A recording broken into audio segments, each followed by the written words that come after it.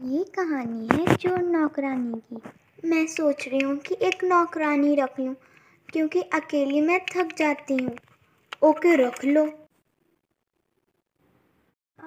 Hello रिया। हाँ hello Nandini.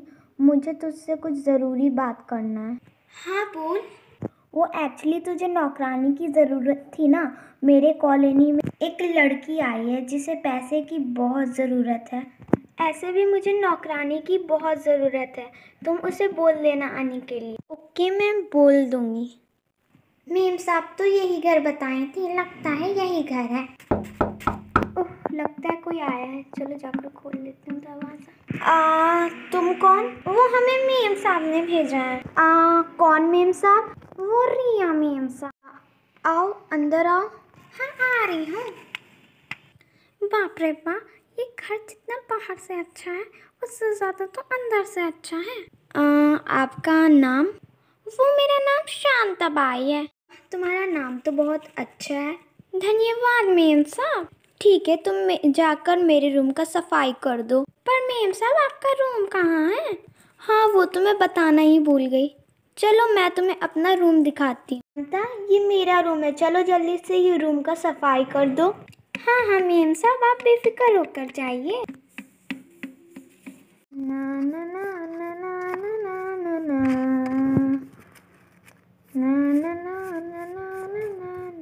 चलो यहाँ पर झाड़ू तो दे दी हम यहाँ पर किनारे में दे देती हूँ झाड़ू अरे यार, ये हार तो लगता है सोने का है। मुझे तो लगता है कि ये सोने का ही है। इसकी कीमत तो बहुत होगी। चलो मैं इसे ले लेती हूँ और शांता वो हार ले लेती है। चलो जल्दी से इसे साड़ी में छुपा लेती हूँ। अब जल्दी से काम कर लेती हूँ। वो काम करने लगती है। कुछ देर बाद मेम साहब पूरे रूम की सफ़ाई हो गई। ठीक है, तुम जाकर खाना पका ठीक है मेम साहब। अरे वाह, यहाँ का किचन तो कितना ज़्यादा ही सुंदर खाना तो पक गया, अब चलो मेम साहब को बुला लेती हूँ। मेम साहब, डाइनिंग पर खाना लग गया आकर खाना खा लीजिए। ओके, आ रही हूँ, शांता। चलो, चल के खाना खा लेते हैं। हाँ चलिए।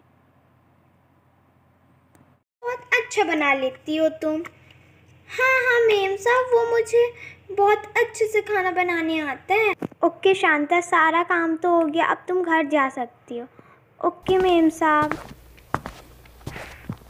अरे, यहाँ पे तो मैं अपना हार रखी थी।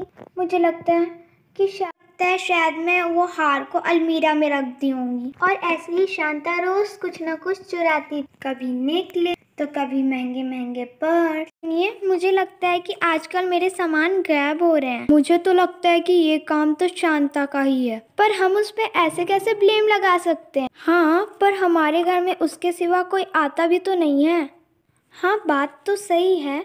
मेरे पास एक आइडिया आया है, जिससे हमें पता चल जाएगा कि वो चोर है कि नहीं।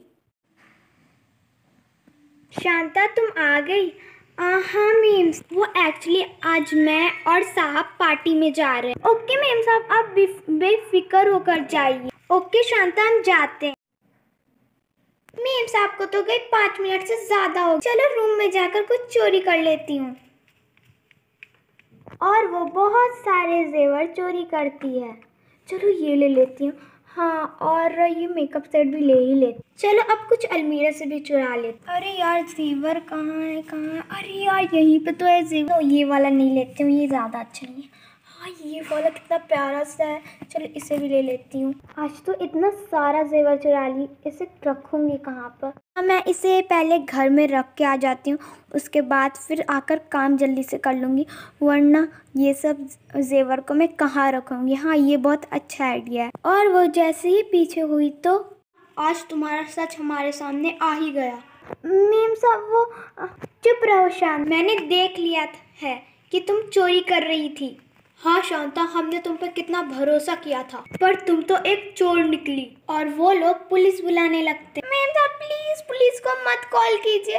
प्लीज़ मैं आपके पैर पड़ती हूँ मैम हम पुलिस को नहीं बुलाएँगे, पर हाँ अभी के अभी यहाँ से चली जाओ तुम। धन्यवाद मैम साहब मैं आपके और वो वहाँ से चली जाती है।